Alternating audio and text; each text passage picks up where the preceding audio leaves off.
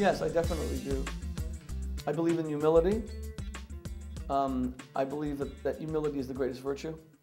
I believe no matter who you are, no matter what you've accomplished, if you've lost the ability to relate to everyone, if you start thinking of yourself as an, the important person and you relate only to the important people, and they are the circle in which you re- revolve, you've become fundamentally corrupt.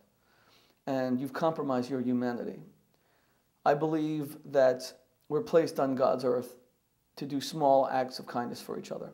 And they may never be written about in some great novel, and they may never have an equestrian statue erected to honor their legacy. And there may never be 21 gun, a 21 gun salute for this little act of kindness you did, but it's the little acts of kindness that define our character more than anything else. Yes, the big things are also very important. And the big rich guy who gives billions of dollars to charity, yeah, he's amazing. But what will determine the kind of person he is is how he speaks to the people he works with, how he treats his wife, how he speaks to his butler, his chauffeur, etc. If he treats them as equals. So they work for him, fair enough, but they're still equal human beings.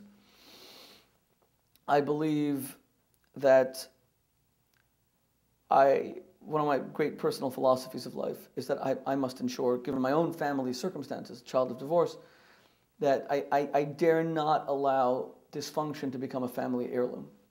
I dare not transmit to my children my insecurities, my, my inner chaos, my inner turmoil, that if I heal myself, I will also heal my children.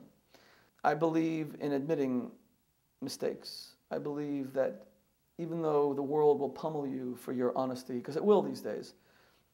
If a president, a prime minister, an author, anyone comes forward and says, you know, I made a big mistake. People say, oh, now you say, oh, sure, after you have to. That's a shame.